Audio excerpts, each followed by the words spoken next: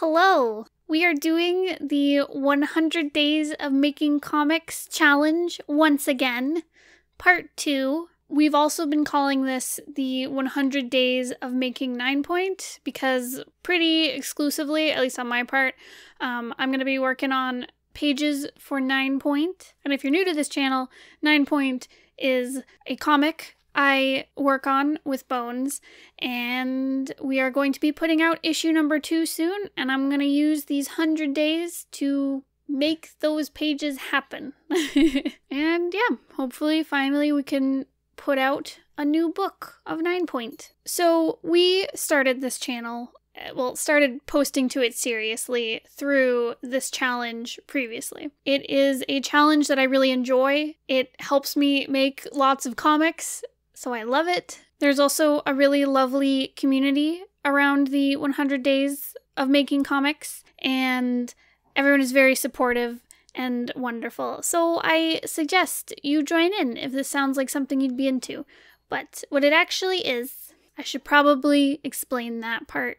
So, what it actually is, is for the next 100 days, we are going to be working on our comic for 30 minutes every day um, and we're going to put out a video. So Bones and I will be swapping out talks on these videos. Um, the first time we did this challenge, it was just me talking over them, uh, but this time, some days I will be talking about the art side of comics, all the visual elements, um, and other days Bones will be talking about how to write comics and all the you know all those aspects of of making comics. And on Saturdays we will be doing Q and A live streams here on YouTube, where we are going to answer all your questions about comics or I guess maybe about nine point if you have them. These streams will also include our Patreon rewards. So um, once the Q and A portion of the stream is over, we will be doing things like playing drawing games like Drawful, or giving art critiques to our patrons. So if you're interested in that, I guess go check out our Patreon. Uh, so yeah, make sure to send us your questions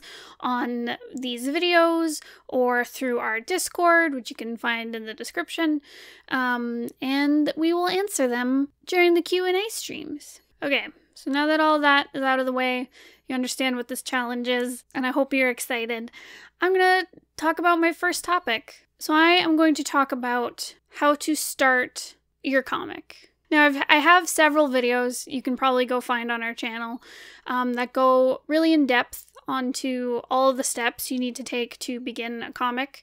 Um, and it usually I start with like, you know, do your prep work, get your script done, do your character designs. But I think there are steps before that that you can take to really ease yourself into beginning your comic.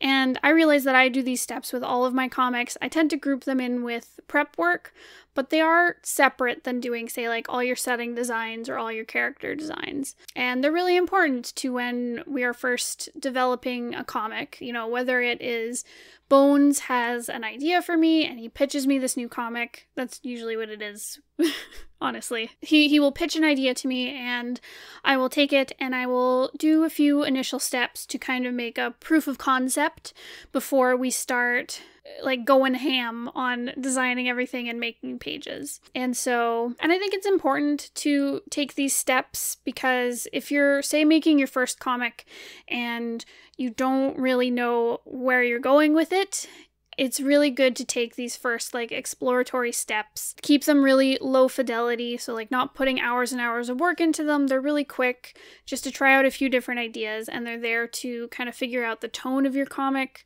maybe the genre maybe you can try a few different directions you could take with your comic just to kind of ease you into these bigger steps, which can be really scary and really intimidating when you're first starting out. Because I know, like, when you sit down to make your first comic and you're like, oh my god, I have to make character turnaround sheets and setting designs, and then I have to figure out panel layouts. I don't even know how to make a comic. Like, how do they make it look good? Like, that can be really overwhelming and it can make you not want to begin. So, what I usually do when I'm at that point, and I've got this pitch from Bones, and um, he's told me maybe a few of the characters that he's thinking about. Um, sometimes he'll tell me like a cool like Bones usually doesn't tell me about cool scenes he's picturing because he that's not how he works. But if, if I ever have an idea for a comic or for a story, I usually have like a scene in mind that I'm kind of excited to get to or I kind of want to build out from in my story. But yeah, he'll tell me about characters, settings, kind of mood and feel. So he's like, you know, I want to do with Nine Point. He was like, I want to do kind of like Legend of Zelda meets like Cat Knights, and it's kind of like also feels kind of like Gurren Lagann and stuff. And I was like, wow, this sounds really cool. I kind of know what you're going for. So yeah, so you you have all this stuff and whether this is like you're working with a creative partner or you're just by yourself and you have the, these really exciting cool ideas in your head um, the first thing you should start with is create a mood board.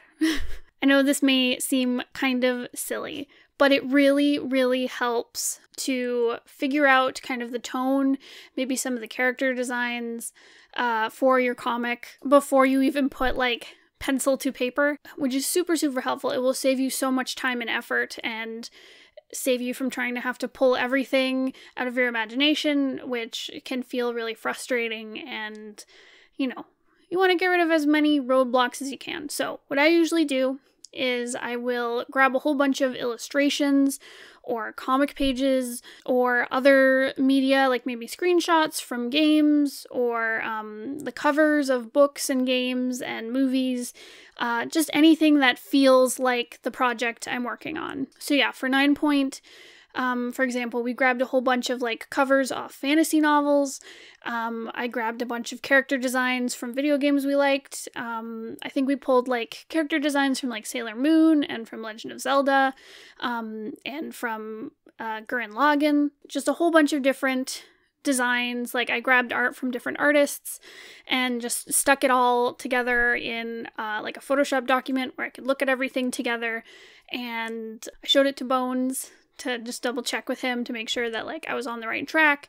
And he was like, "This image feels right. This character design is what I'm kind of thinking for this character. Like, you know, we want the princess to feel very like, you know, beautiful, like um Sailor Moon or whatever." So yeah, so it, it really just helps to be able to see kind of see your project through the lens of other people's work, if that makes sense. Uh, I'll also like not just grab designs I like, I will also grab stylistic choices that I plan to use. So, for example, with Nine Point, like when we started, we were initially looking at having it to use heavy line work. Um, in fact, it was originally supposed to be black and white, but now it has become a color comic. Uh, so when we were starting out, um, I initially thought like, okay, this is going to be very line heavy. It'll be like my normal style, which I use a lot of line work in.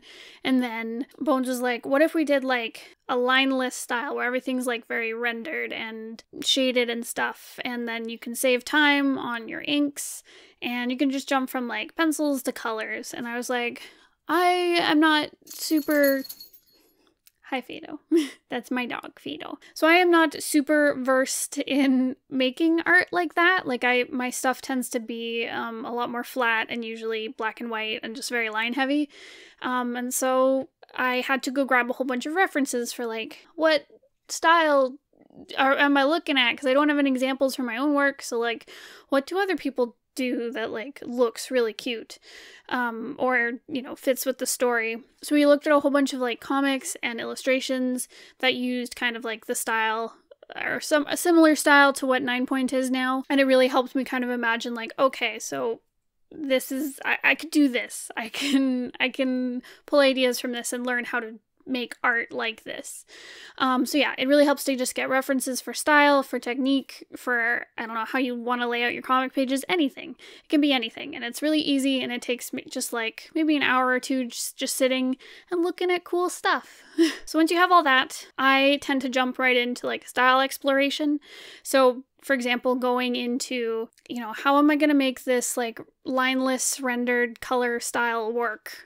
um, so what I did was I went and grabbed I did like a few little sketches of some character ideas we had going, and I just sat down and tried a few different coloring styles on it. You know, one was very like gradient heavy and very soft shaded, and then one was a lot more harsh. And, um, you know, I tried a whole bunch of different colors and like color palettes and styles, and they were all really quick. They each took like maybe 10 20 minutes and they were just little like headshots of characters.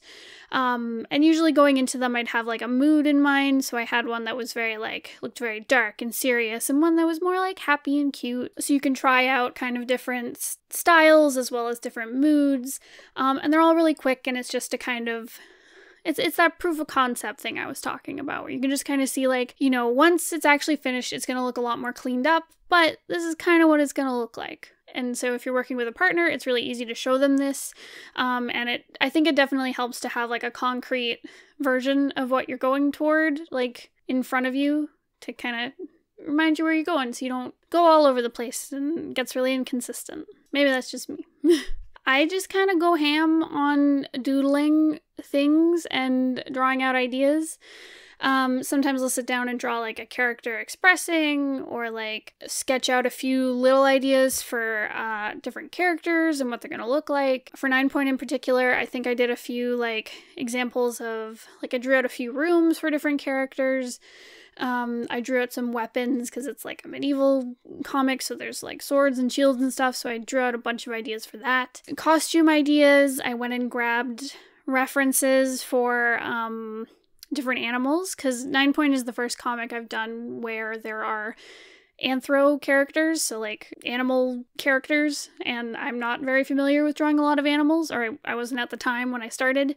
So I sat down and I grabbed a bunch of pictures of like wolves and coyotes and cats and just learned, did some sketches, tried to figure out how to draw them, um, did some studying you know, um, sometimes we'll have characters who are gonna be like we'll know like these two characters are the the main characters and they're gonna hang out, and sometimes I'll doodle them hanging out together and see what their dynamic is like. And again, these are just like really quick, like I can dash off a bunch of them really fast. They're just for fun, um, and they again they just show like this is this is what it'll look later, but later it'll look better. And finally, once I have all this stuff, I sit down with Bones and we look through it and he gives me lots of feedback. You know, he'll tell me like, does this does this fit right? Like it, with him it helps because he's he's kind of in charge of like the story and um, the direction of things. So he can really easily look at my work and be like you know this this one feels right. This one doesn't feel like what i was thinking. You're way off